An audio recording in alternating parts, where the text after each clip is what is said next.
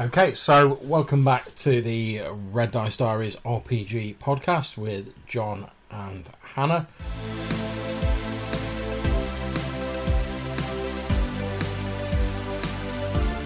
I'm lucky enough that over the last weekend I was talking to Gavin Norman of Necrotic Gnome on his company Discord server, and he's allowed me into the playtest group for the forthcoming Dolmenwood campaign books. Now, unfortunately, I've not really got time to run like another massive game. However, inspired by Mike, aka Chicago Wizards podcast, where he talks about doing a bit of one on one gaming with his significant other, I decided to ask Hannah whether she'd be interested in doing a bit of one on one gaming with me, since we don't get to actually play a lot of games together, do we? Love, We don't honest. really. I mean, we're doing like Scum and Villainy at the moment. We are. That's really about it. And that's the first game we've done for ages. Yeah, apart from LARPing, and we're not even in the same groups at that. So, Yeah, what, and four or obviously five that's not years going on at the since minute, we've done it? a So- regular game together. Yeah, so I thought it'd be nice, you know, especially at the minute where like a lot of people are sort of indoors, you know, look looking for stuff to do.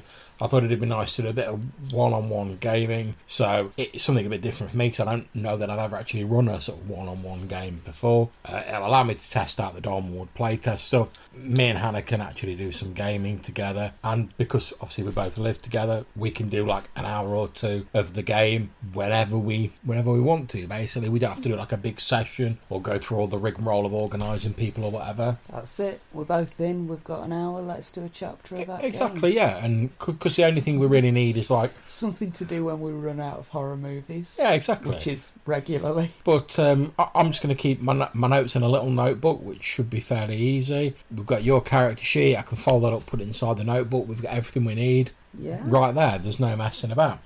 Now, handily, Gavin has. I've decided to set it in the the Dolmenwood, which is this uh, this sort of fairy tale forest setting published by Necrotic Gnome.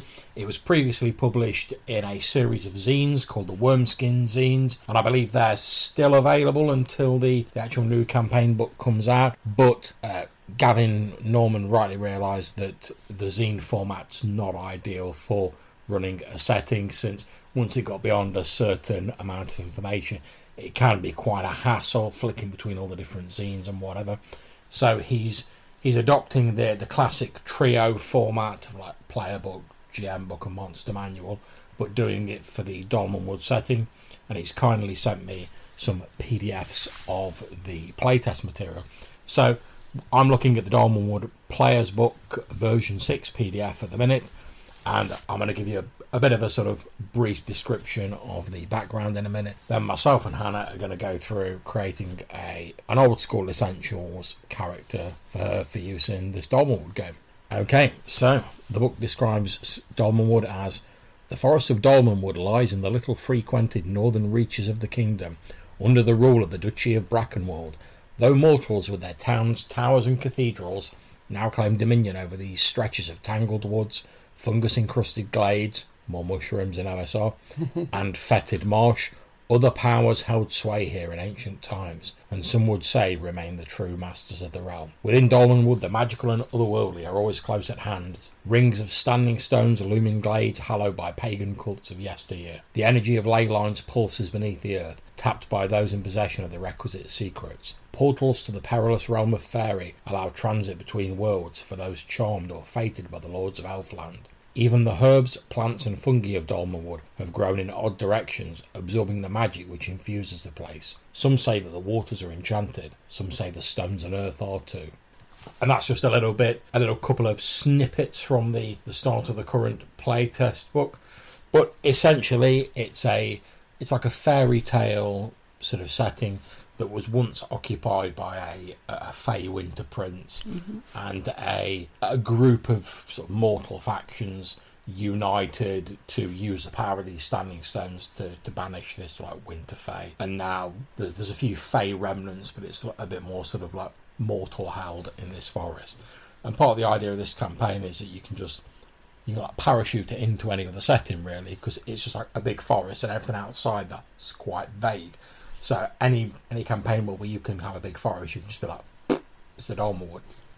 That explains why it was sort of invoking so many different sort Yeah. of things that I w- I'd heard of. Uh, as you were reading the description, I was thinking, oh, yes, so it's a bit like uh, the wood around the lamppost in Narnia. Yeah, exactly. But it's also a bit the wood between the worlds in The Magician's Nephew. Yeah, but get- it's also a bit Ramtops from Terry Pratchett and a bit like Hans Christian Andersen and a bit yeah, I, I very much get the feeling it, it's meant it's meant to be a setting that, like you say, evokes all of those sort of mythic like forests, but puts a little bit of its own spin on it. So, in terms of uh, creating a character, so obviously one of the since it's old school D and D, old school essentials. One of the first things to consider is character class. Now, the the default classes in Dolmenwood are cleric, elf, fighter, friar, grimalkin, hunter, knight, magic user, moss dwarf, thief, or woodgrue. Now, you did mention cat people, and my ears did prick up at the name Grimalkin. Indeed, mercur- that they are described in the book as mercurial feline shapeshifters native to the fairy realm. Right, yeah, got to be the cat people. I like cat people. Okay, so in your class, write down grimalkin. Okay, now the next thing you're going to need some dice for. I know you had some down here. Sixes? So you're going to need to roll 3d6 to determine each of your ability scores. Oh, give me a second. Yeah. Okay.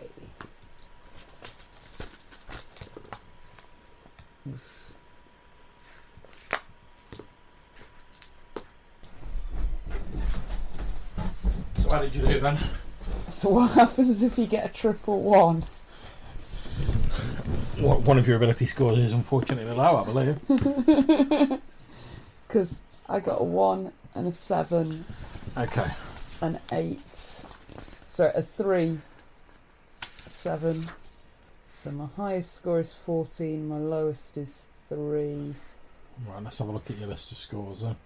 Yeah, you can re-roll them. I was gonna say I played enough D and D to know it that's not a playable character. well, it is playable, but it does give an option there. It says if you roll a character with very poor ability scores across the board, the GM might let you re-roll them, so re-roll all of them. And while Hannah's adding that up, I'll give you a quick description of the Grimalkin. Most Grimalkin who enter the mortal world take to a life of wandering and adventure. They tend to be mercurial, sneaky, self-indulgent, and loose with their money. The appearance and form of a Grimalkin is subject to change over time as it shifts between three forms, and these are the three forms you can adopt. Chester, a stupid cat form. You resemble a fat domestic cat in all aspects, and only retain a dull witted intelligence. They can understand languages but cannot respond. Being in Chester is quite embarrassing to a Grimalkin and something they'll normally try to avoid. Mm-hmm. Estray is the cunning humanoid form between three and four foot in height. They wear clothing, speak, walk upright, and have delicate hand like forepaws. It's by all appearances a human cat with fur covering its body. And the last one is Wilder, a primal fey form. They appear as a gleaming pair of deranged predatory eyes. Those who can see in the darkness or perceive the invisible discern a bulky feline form, three foot high at the shoulder, with a bulky head, a leering mouth, and fur standing on end as if electrified. Grimalkin PCs begin in Estray form, the humanoid cat form, and certain things can cause you to change into the others. You don't have to write all this down. So I'm just making a note of those three because that would probably be right. Okay, so stick your uh, your ability scores down. Let me know when you've decided what you've got. Like I say, you need intelligence at least nine. And presumably that means intelligence is going to be my primary stat. No, your prime requisite's dexterity. Dex. Got your scores written Yeah. down. Okay, so what have you got in strength? Eight. Okay, so that means you have a. I'm going to give you like the modifiers that go with it. Mm-hmm. So you have a minus one in melee. Alright. How many modifiers are there? For strength. There's just a minus one for melee, and then it determines what your open doors chances, which should be listed on there under open doors. So if you get to like a door and it's stuck or whatever, you roll a d6. If you get a one, you bust it open. Cool. Okay, so what's your intelligence? Twelve. Okay, so that means you only speak one language, your native language. However, you are literate. Okay. What's your dex? Thirteen. Did you mean to miss wisdom? No, I'm just going down them Sorry, as they are no, in here. Different order on here. No problem. S- So with deck with your dex 13, you get plus one to your AC. Okay. You get plus one to missile, like ranged attacks, and plus one to initiative. Okay, what's your charisma? Uh, nine. Okay, so there's no modifier for NPC reactions. The maximum number of retainers you can have is four, and the default loyalty of any retainers you hire will be seven. Okay. Okay, what's your wisdom? Wisdom, wisdom, wisdom. Five. Okay, so you get a minus two on magic saves. Okay. Uh, that leaves con, Yep. which determines hit points, and that's a nine. So you get no modifier to your hit points. And what did you say your dex was, since that's your prime requisite? Thirteen. Okay, so when you get XP, you will gain an additional plus 5%. Mm, You should write that down anyway you want. Okay, so we've got the abilities written down. So next thing is to choose your class, which obviously you've already done. It's Grimalkin. We're starting you at level 1, so you have 1d6 as your hit points. I always give maximum at first level, so you get 6. Okay, so your base attack bonus is plus 0. plus zero. Right, and then the melee was minus one, and the missile was plus one. So you've got a plus 1 for missile, minus 1 for melee. Yeah. Actually, that's not bad for a first level character. Anything? Okay, now there probably won't be a space for this because this is like a Dolmenwood specific thing. Yeah. So you might have to write it in the notes section. But you get a glamour, which is like a sort of fey magic, and you get one of those. But we'll go into like those in a bit. So I just write one glamour in like your notes section. Okay, you have a twenty percent chance of picking locks, which will probably be somewhere near your open doors thing. Okay, so I'm going to read out your saving throws. There should be five of them. Okay, so your death save is 11. Your one save is 12. Your paralysis is 14. Your next wand is 16. That's breath. Yeah. And spell is 15. Okay. So, I'm going to give you some other tidbits about your character. Like I say, you may have to write these in the notes section on the back because they're like Dolmenwood specific. Mm-hmm. Okay, so the three different forms we talked about earlier, Yeah. I'll go into in a little bit. However, you are effectively immortal. You Okay. can be killed, but you don't age and die naturally. Okay. You're immune to mundane illnesses, like entirely, but you can be affected by magical diseases. Also, which would be quite handy if you ever get lost in the woodland, you can't die of thirst or starvation. Yeah. Although Presumably that means you can still suffer the effects of the. Well, it, it does say a lack of sustenance drives them insane and sadistic, so you're not going to die, but you're not going to have a pleasant time.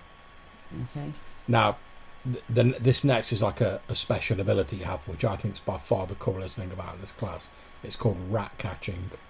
Now, like all of like all of cat kind, Grimalkin delight in catching and consuming rodents.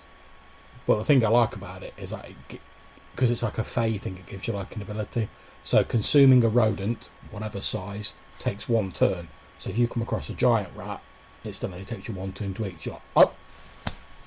Once you eat a rodent, your current hit points are increased by the hit dice of the consumed rodent, and you can even go above your normal maximum because of that.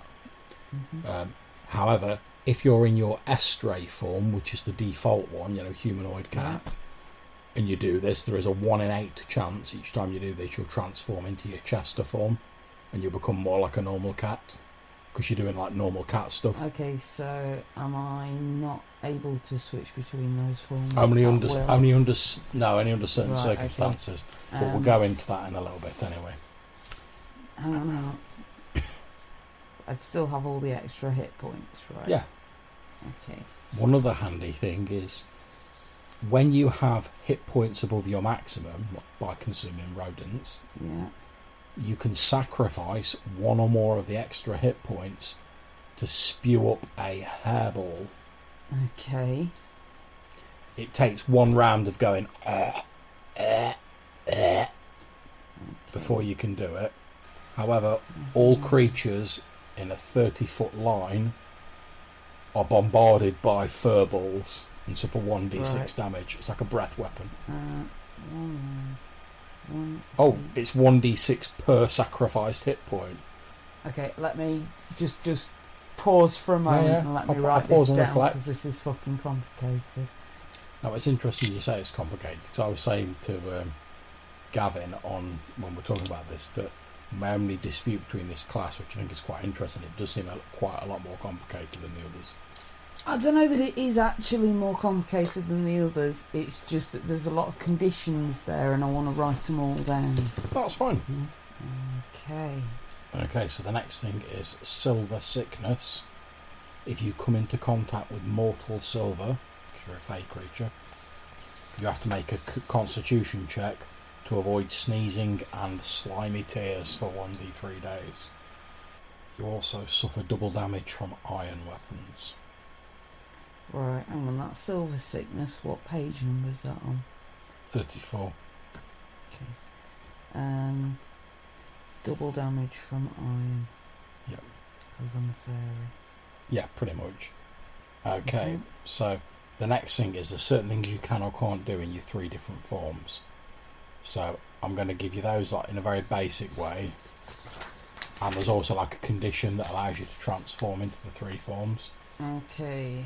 So, okay, so Chester form. Mm-hmm. In combat, you can make a bite and two claw attacks each round. However, each one only does one point of damage. Do you mind if I just get a look at how this is laid out on there? Because it's going to do my head in if I don't write it anyway where I can understand it Yeah, go better. Okay, next thing after the attacks for the Chester. Sorry. Okay. So when you're in Chester form, you transform into Estray form at dawn, unless you want to stay in Chester form. So basically, if you get put into Chester form, you've got to spend at least like a day until the next dawn in it, and then after then you can change back anytime you want. Okay. Okay, so Estray form, the Puss in Boots form, you can wield any small weapon, you can wear any type of armour, although it's got to be custom made for your size, and you can use shields. If you're if you're in combat with anything larger than human, you get plus two AC because you're like too small and you can zip around it. But not including anything that's human or human size, I'm guessing. No, it's got to be larger than human. Okay, the next thing is glamours. So in Estray form, you're able to make use of a number of minor magical abilities known as glamours. The number of glamours is determined by the level and selected at random. So Okay, so I had one glamour. Yeah, so we may as well select that at random now. I'm just going to go to the appropriate page. Well, give me a minute to take a swig of this then. Yeah. Okay, so would you like to roll me a d20? Yep, I've got your big one here.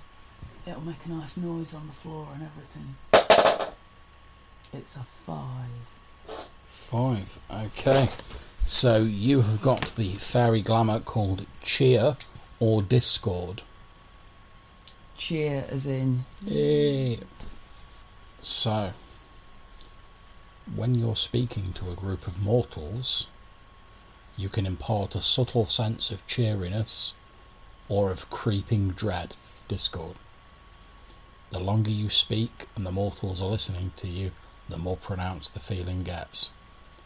So, after one turn of you talking, one hit dice of mortals per level are strongly affected. Lovely. okay, and you can use that as many times as you want. It's just like an innate power. It's like Yeah. a, a little like cantripy sort of dealio. I don't have any notes under wilder form yet. No, that's fine. Okay, so still for your for your estray form. Yeah. Okay, so when you're in estray form, you can transform into Chester form at will. It takes D6 rounds. d6 rounds. Yep. So it's not exactly uh, a handy escape route, is it? Oh I wow. don't know, round's only six seconds, so 36 seconds potentially. Anyway. okay. if you want to change into wilder form, Yeah. if you're in battle and near death, so less than one third of your total hit points, you can change into wilder form, and that takes one round. If less than right, yeah. Makes sense I suppose. One third total HP can change to wilder. Okay, so for your wilder form, Mm-hmm. So you can't wield tools or weapons. However, you can make a bite and two claw attacks each round. Each of these does d4 damage, and it counts as magical damage. Okay. Okay. If you're in wilder form and you are touched by the rays of the sun, you are transformed into a lump of wood. Okay. A save versus petrification is allowed to resist for each round of exposure. Okay, so what's the next note? Okay, so uh, a Grimalkin in Wilder cannot distinguish friend from foe and will attack all nearby living creatures. Yeah. When combat comes to an end, the Grimalkin will disappear into fairy, coming under the referee's control. Mhm. So when you're in Wilder form, you gain plus two bonus to your attacks and an additional 2d6 hit points. Because you're only semi visible, people attacking you who can't see invisible stuff get a minus two penalty. Mm.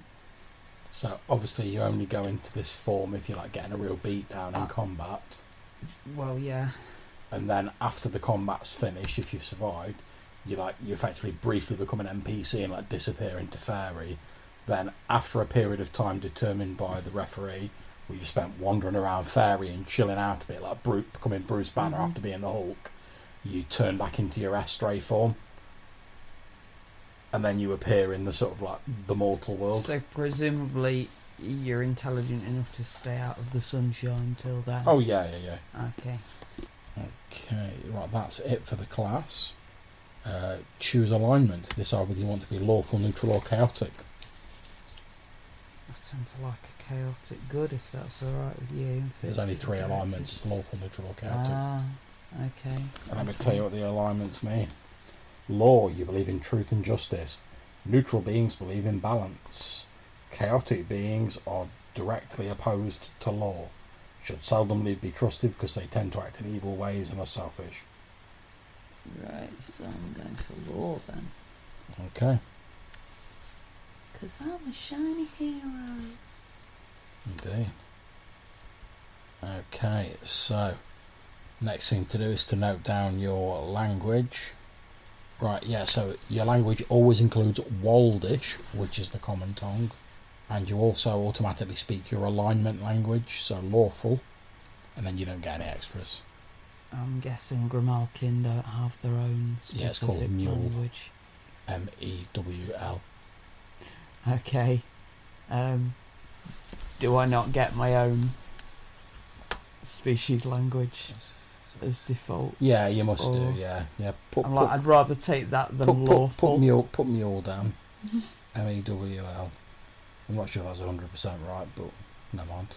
Okay, so your character starts with 3d6 times 10 gold pieces.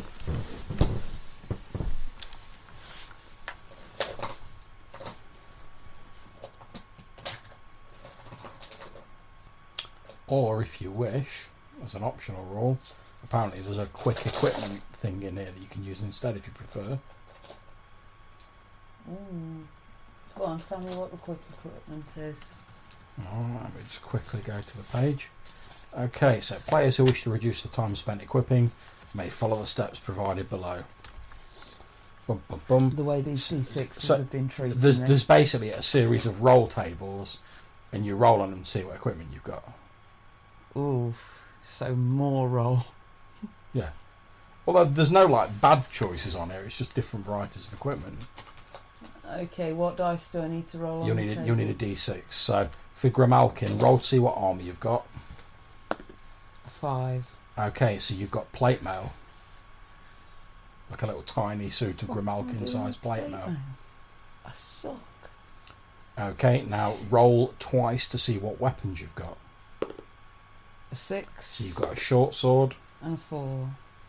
and a short bow with 20 arrows. Like, All sized appropriately for you. Okay. Okay, so you also have the following items a backpack, Yeah. a tinder box, Yeah. 1d6 torches. So roll a dice. A five. So five torches. You have a water skin. No, you don't have to roll for it. You've just got a water skin. Sorry. Well, it's alright. Keep that number because that can be how many iron rations you have. Oh, can it? Is that because it's a shit number? I don't know. I can't see what it is. Come. And then you get your three d6 gold pieces, which you've already rolled for, I think. No, I haven't. All right. Okay. One, two, six, nine. That's not too bad, I suppose. Okay. And you also get like two misc items of adventuring gear, and you need a d12 for this. Okay. Okay, so roll for your first one. Eleven. You have a sledgehammer. What the fuck am I doing with a sledgehammer? Well, that's all up to you. You'll have to weave it seamlessly into the narrative. If I can do it with a fishing rod in Call of Cthulhu, you can do it with a sledgehammer in this. And bear in mind, it is only like a ti- tiny, like bloody um, Grimalkin size ones. it's probably more like a toffee hammer. That's like a giant, like a toffee hammer or something. Okay, roll a d12, see what else you get. A five. You get an ink, quill, and five sheets of paper. Okay, now are you ready for the best bit? What random trinket have you got? You need a D100. There's a lot of trinkets. Do the 2D10.